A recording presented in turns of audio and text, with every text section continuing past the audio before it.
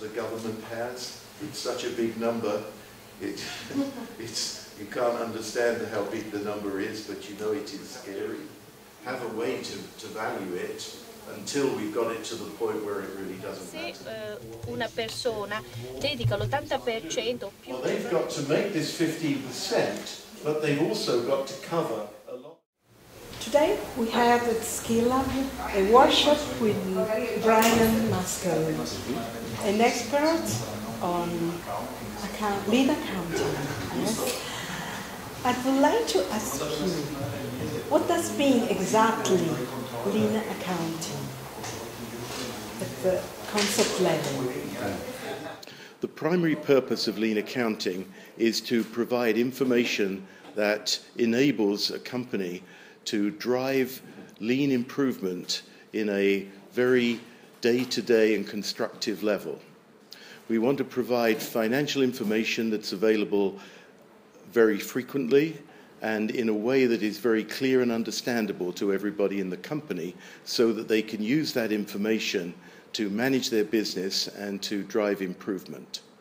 We also want to have an accounting control and measurement system that takes a lot less work. And so we're able to create simple systems that give excellent information, but with half the time of the people who work in the accounting office.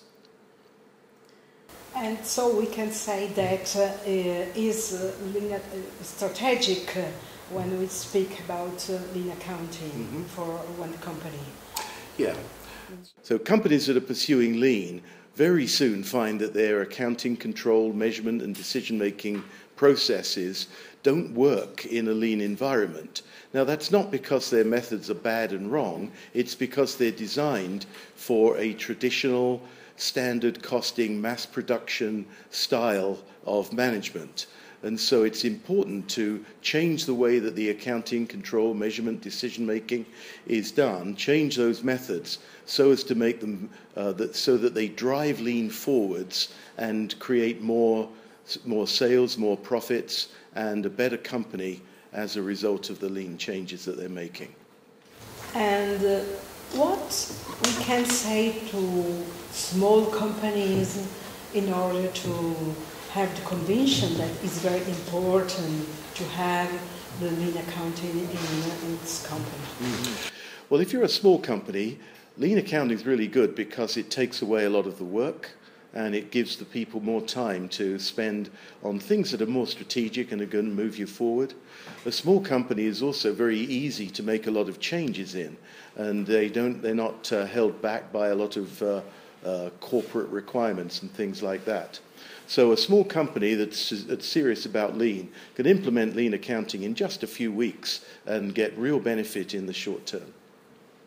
And how small companies can begin this, uh, uh, this experience? Well, I think the first place to start with uh, lean accounting is to get some knowledge. And there are several books that, uh, that are available, and there are training classes that can be done that make this work.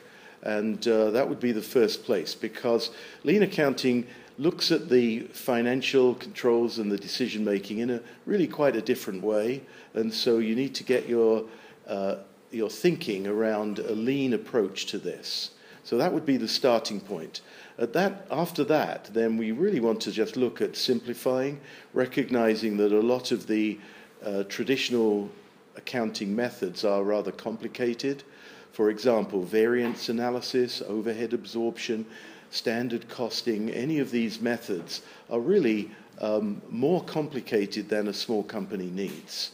And so that would be the, the next step would be to systematically and carefully eliminate those, those kinds of methods. Thank you, Mr. Brian. Okay? Yes.